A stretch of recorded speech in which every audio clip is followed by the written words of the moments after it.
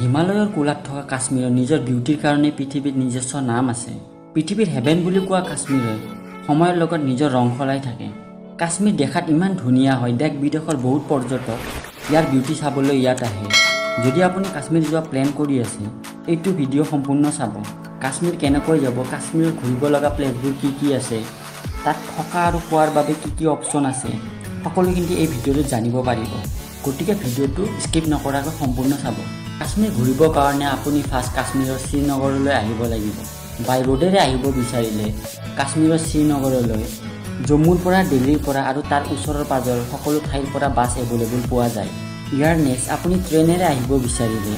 শ্ৰীনগৰ ট্ৰেইনৰ ষ্টেচন আছে যদিও ডাইৰেক্ট শ্ৰীনগৰলৈ আহিবৰ কাৰণে ট্ৰেইনৰ কোনো সুবিধা নাই। আপুনি ফাৰ্ষ্ট জম্মুলৈ ট্ৰেইনলৈ আহিব পাৰিব। জম্মুৰ পৰা ডাইৰেক্ট বাছ আপুনি শ্ৰীনগৰলৈ পাই যাব। তাৰ পাছৰ অপশ্যনটো হৈছে ফ্লাইট যদি আপুনি এয়াৰপ্লেনেৰে আহিব বিচাৰে তেন্তে ডাইৰেক্ট আপুনি শ্ৰীনগৰলৈ ফ্লাইট পাই যাব। ভাৰতৰ সকলো এয়াৰপৰ্টৰ পৰা শ্ৰীনগৰলৈ ফ্লাইট পোৱা যায় আৰু আপুনি বাজেট আৰু টাইমত ধ্যান ৰাখি যিকোনো এই তিনিটাৰ অপশ্যনৰ এটাৰে কাশ্মীৰৰ শ্ৰীনগৰলৈ আহিব পাৰিব। কাশ্মীৰৰ শ্ৰীনগৰ অহাৰ পাছত তাত কি কি প্লেচ চাব? ফাৰ্ষ্ট আপুনি শ্ৰীনগৰৰ ফেমাছ ডালঝিল যাব পাৰে আৰু তাত আপুনি চিকাৰা ৰাইড কৰিব পাৰিব। ডালঝিলত আপুনি ফ্লটিং ভেজিটেবল মাৰ্কেটো চাব পাৰিব। তাৰ নেক্সট আপুনি শালিমাৰ বাগ যাব পাৰে। শালিমাৰ বাগ এখন ধুনীয়া মোগল গাৰ্ডেনৰ ভিতৰত এখন হয়। ইয়াত গৈ আপুনি কিছু টাইম স্পেণ্ড কৰিব পাৰিব। নেক্সট আপুনি পাৰি মেহেল যাব পাৰে। পাৰি মেহেলত আপুনি ধুনীয়া আৰ্কিটেকচাৰ আৰু ফল আৰু ফুলৰ গছ দেখা পাব। আপুনি তাৰ পাছত উলাৰ লেক যাব পাৰে। উলাৰ লেকত আপুনি বিভিন্ন ধৰণৰ মাছৰ লগত বিভিন্ন প্ৰজাতিৰ চৰাই দেখা পাব। তাৰ পাছত নেক্সট শ্ৰীনগৰৰ Indira Gandhi memorial tulip garden যাব পাৰিব। ইয়াত গৈ আপুনি ফুলৰ দুনিয়াত যোৱা যেন লাগিব। এই টুলিপ গাৰ্ডেনৰ আপুনি চাৰিওফালে কেৱল ফুলে ফুল দেখা পাব। নেক্সট আপুনি নিচানবাগ যাব পাৰে। তাত গৈ আপুনি কাশ্মীৰৰ ট্ৰেডিশ্যনেল ড্ৰেছ পিন্ধি পিকচাৰ ক্লিক কৰিব পাৰিব। আৰু ইভিনিং টাইমত আপুনি শ্ৰীনগৰৰ মাৰ্কেট যাব পাৰে। আপুনি যদি হাতত বেছিকৈ টাইম লৈ যায় তেতিয়াহ'লে শ্ৰীনগৰৰ পৰা প্ৰায় ফিফটি কিলোমিটাৰ ডিষ্টেঞ্চত আছে গুলমাৰ্গ। গুলমাৰ্গ এখন কাশ্মীৰৰ ফেমাছ হিল ষ্টেচন হয়।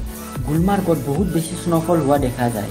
আপুনি উইণ্টাৰ ছিজনত গ'লে ইয়াত স্ন' এক্টিভিটি কৰিব পাৰিব আৰু ইয়াৰ ফেমাছ ৰ'পৱেত উঠিব পাৰিব। তাৰপাছত আপুনি চনমাৰ্গ যাব পাৰে। চনমাৰ্গ শ্ৰীনগৰৰ পৰা প্ৰায় এইট্টি ফাইভ কিলোমিটাৰ ডিষ্টেঞ্চত আছে। ইয়াত গৈ আপুনি বৰফেৰে ভৰা ঠাইবোৰ আৰু পাহাৰবোৰ দেখা পাব আৰু ইয়াত গ'লে আপুনি গ্লেচিয়াৰো দেখা পাব। চনমাৰ্গত গ'লে থাজিৱাজ গ্লেচিয়াৰত যাব নাপাহৰিব। উপৰিও কাশ্মীৰত এনেকুৱা বহুত ঠাই আছে চাবলগীয়া। মই কেৱল টুৰিষ্টৰ মেইন এট্ৰেকশ্যন প্লেচবোৰৰ বিষয়েহে কৈছোঁ। এই ইয়াত থকা আৰু খোৱাৰ কথা ক'লে কাশ্মীৰত আপুনি সকলো ধৰণৰ ল' বাজেটৰ পৰা হাই বাজেটলৈ হোটেল পাই যাব। ইয়াত আপুনি ওৱান থাউজেণ্ডৰ পৰা টেন থাউজেণ্ডৰ ভিতৰত সকলো ধৰণৰ হোটেল এভেইলেবল থাকে। ইয়াৰ উপৰিও আপুনি ডালজিলত হাউচ বটতো থাকিব পাৰিব। আৰু ফুডৰ কথা ক'লে কাশ্মীৰত ভেজ নন ভেজ দুটা অপশ্যনে পোৱা যায়। আপুনি তাত গৈ Kashmiri pulao Kashmiri gravy momo' mutton try কৰিব পাৰিব। ইয়াৰ উপৰিও আপুনি কাশ্মীৰত গ'লে কাশ্মীৰী টি খাব নাপাহৰিব। কেৱল এইখিনিয়ে। আশা কৰিছোঁ কাশ্মীৰত টুৰৰ ইনফৰমেশ্যনৰ বিষয়ে চাই আপোনাৰ ভাল লাগিব।